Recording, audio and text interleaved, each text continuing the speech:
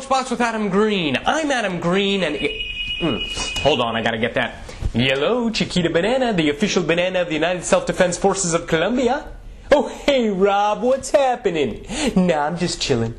Uh oh. Troubles are brewing in the first big showdown between the Democratic Congress and the White House. Bam! As the firings of federal prosecutors finally came to a head yesterday in the Senate, and Bush complained about not being invited on some cool partisan fishing trip. Legislators voted yesterday to revoke the administration's authority to install federal prosecutors indefinitely without Senate confirmation. Only two senators sided with the White House and voted no on the measure, including crazy maverick Chuck Hagel. Yeah, he's completely different from Bush. Mr. President, you may have broken the law in getting the Justice Department to fire prosecutors. We demand to see communications between your staff. all right, all right, I hear you, I hear you. Uh, will you accept this fine and gracious compromise?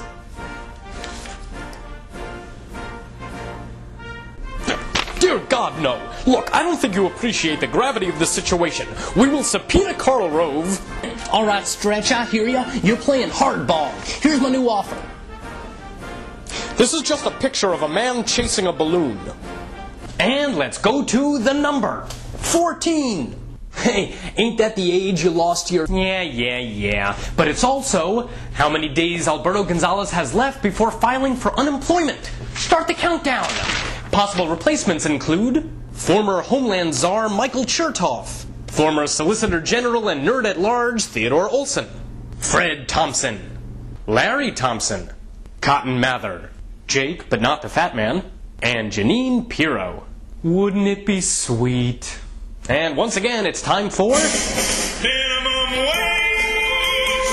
The Democratic Candidate Roundup. The Iraq War sucks. Woo! Yeah! Affordable health care rules. Woo! Yeah! Palestinians sometimes feel pain.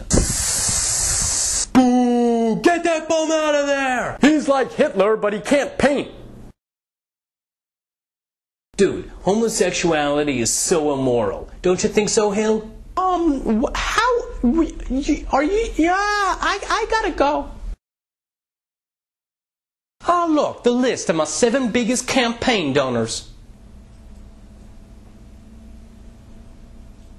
Ah, crap.